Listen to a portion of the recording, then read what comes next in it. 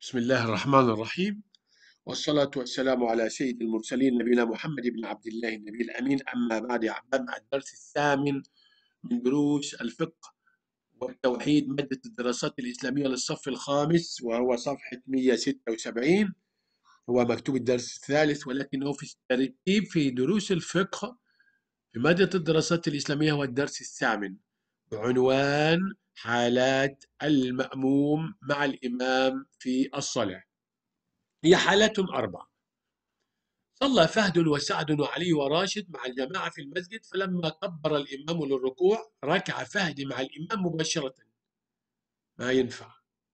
وتأخر سعد حتى كاد الإمام يرفع من الركوع. خطأ بينما ركع علي بعد الإمام مباشرة. صح. هي المتابعة التي نريدها. أما راشد فقد ركع قبل الإمام هذه مسابقة. يسابق الإمام كل الثلاثة محرمين ما عدا واحدة. وافق الإمام في الركوع كان فهد. وبعد منه سعد.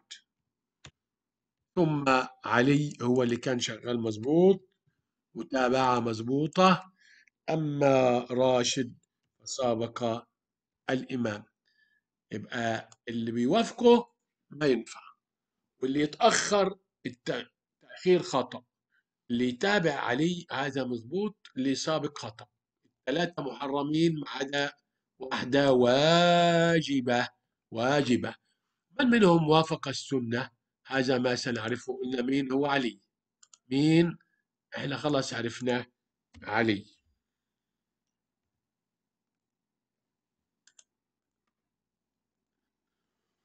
للمأموم مع الإمام مع إمامه أربع حالات أربع حالات. الحالة الأولى اسمها المتابعة وهي أن يكون دخوله في الصلاة وانتقاله من ركن إلى آخر عقب إمامه مباشرة. يعني يقول الله أكبر أنت تقول الله أكبر يركع أنت تركع بس لا قبله ولا بعده ولا ولا بعده يعني بفترة طويلة ولا تتأخر ولا تسبقه. حكمها واجبة المتابعة واجبة.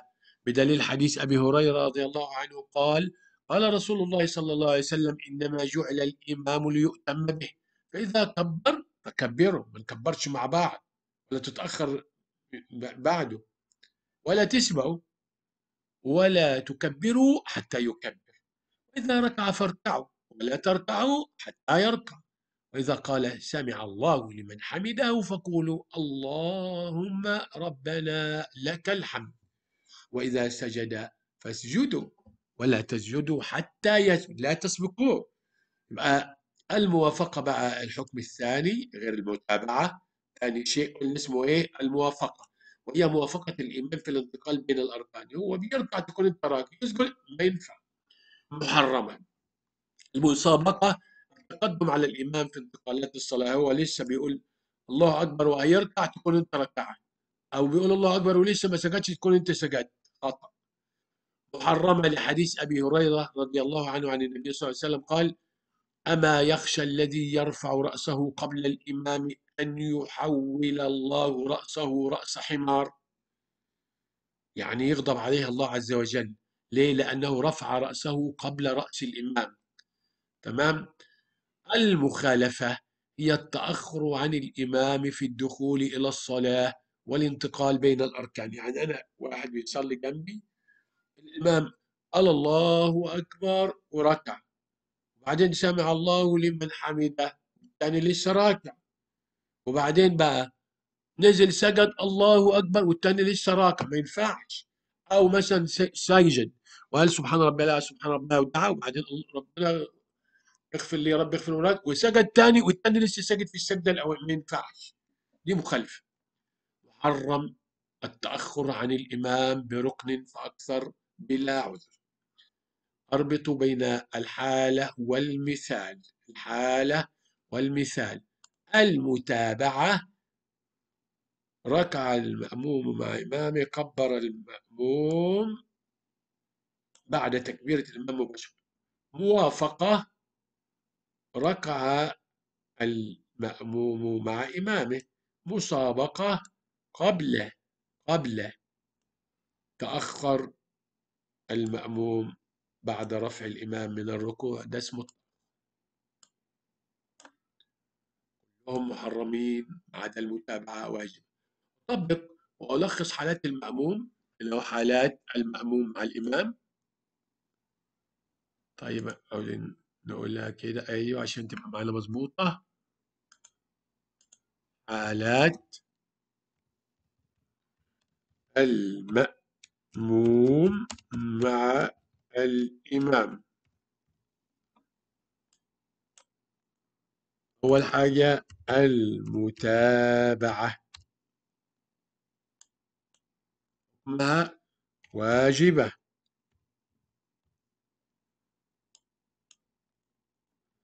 المسابقة.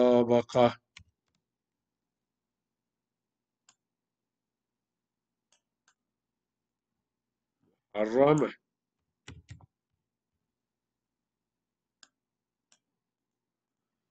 التأخر. محرمة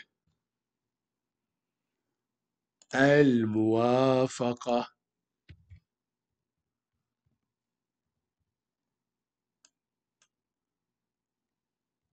محرمة وقال في التأخر لا يجوز التأخر بركن إلا لعذر يعني مثلا واحد كان مريض مش قادر يتحرك بس يعني إيه؟ لكن إلا بعذر لكن في الغالب هي المحرمة هي إيه؟ محرمة. نذهب الآن إلى الأسئلة. أبين حكم ما يأتي. مسابقة الأم- الإمام محرمة. موافقة الإمام محرمة.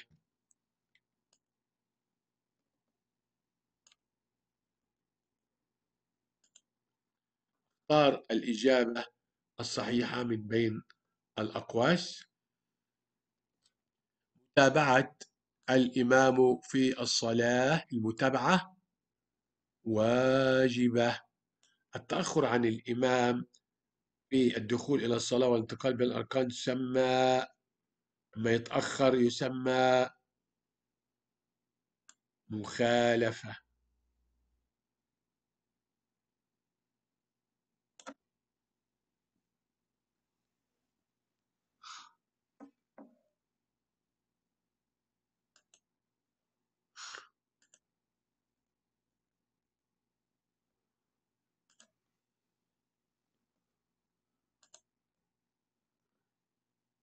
يعني إحنا اللي هنا دي معلش هنا إحنا كتبنا هنا التأخر نخليها مخالفة.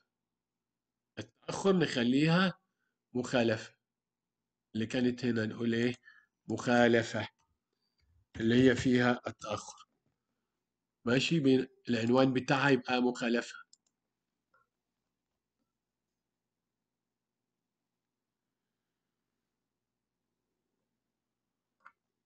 كده خلصنا. ولا تنسونا من اللايك والدعاء والاشتراك في القناة. والسلام عليكم ورحمة الله وبركاته. هو هنا جايبة تأخر ولكن لا عنوان يسمى إيه؟ المخالفة. تمام؟